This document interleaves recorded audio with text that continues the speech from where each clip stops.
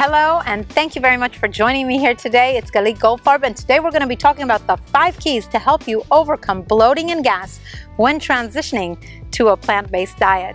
Now, many people who are new to a plant-based diet may find themselves feeling bloated more often than usual, especially in the beginning, and this can be very, very uncomfortable. And so much so that they even believe that something may be wrong with them or that this diet is completely unsuitable for them but this is not really the case. Before you panic and quit, know that your body's reactions to a new diet is absolutely normal and it's just your body transitioning from your previous standard diet to a diet that is rich in fiber and many more nutrients. Now that you're eating more fiber and cellulose-rich vegetables and legumes, your body is just adjusting and the bloating and gas will eventually subside. And once your microbiome, which is the bacterial population that resides in your gut, will change with this diet, then everything will feel much better. The new microbiome that your body will support will be healthier and more beneficial for you now and in the future. The microbiome has many, many beneficial effects on your health, and this will change with a plant-based diet, which influences your health overall. So long as you don't take antibiotics, where you may need to start this whole process all over again. So here are five tips that will help you overcome this phase so that you don't have to give up on the new, healthier, plant-based lifestyle and you may stick to it for good. So number one is to take digestive enzymes or eat foods that are rich in digestive enzymes like papaya and pineapple. They're very, very rich in digestive enzymes. In the beginning where you have bloating and gas are signs that really you have a digestive enzyme shortage. Now, when you don't have enough, you feel discomfort in the form of indigestion. Uh, sometimes you'll have diarrhea, sometimes you'll have constipation, you'll have bloating, and you'll have gas. This is a shortage of digestive enzymes.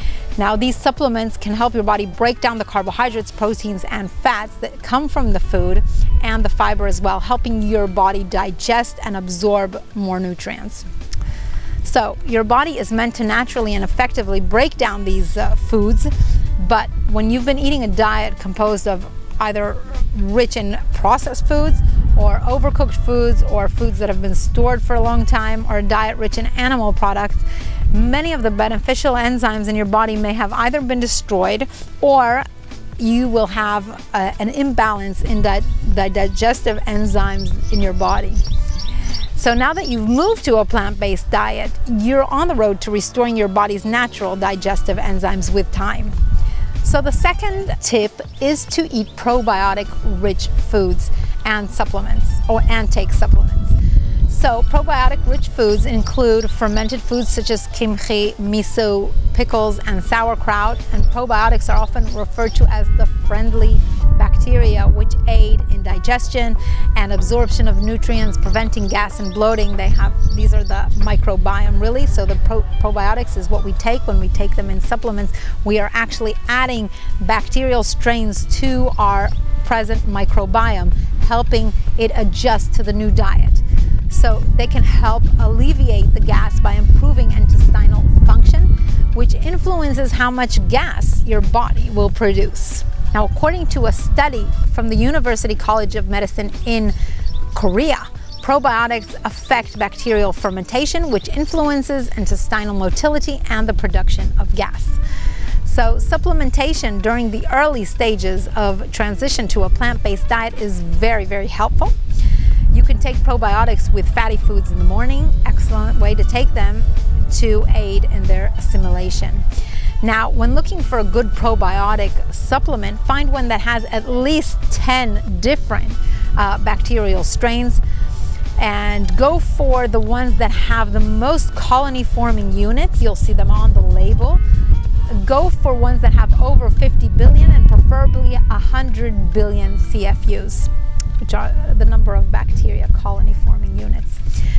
Also, you want to soak your foods for longer. So, untreated phytic acid combines with zinc, calcium, iron, and magnesium, and it prevents its absorption in the intestinal tract.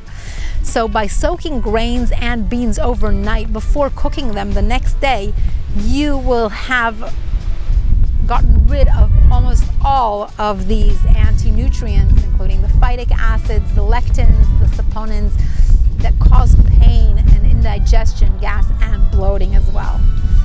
So you also want to be sprouting your foods. Sprouting is a very simple process of germinating seeds. I have a video that I made last week about it. And this brings out their enzymes and by consuming sprouts, your body is receiving a rich source of nutrients, including more vitamins, minerals, enzymes as well. And sprouted seeds are also an ex excellent source of protein, amino acids, fiber, of course, all of these help to alleviate bloating and gas. And the last one, the last tip is be patient. For some people, the transition does take longer and you may feel bloated for a little while longer, but it does eventually subside and your body will eventually adapt, I promise. Your microbiome will shift to become healthier with different bacterial strains to break down the increased levels of fiber. And also your body will make much more salivary amylase enzyme in the mouth to help the digestion of carbohydrates already at the start of the digestive process in your mouth. And soon you'll notice much less bloating and gas, and you will also feel much better on a healthier diet.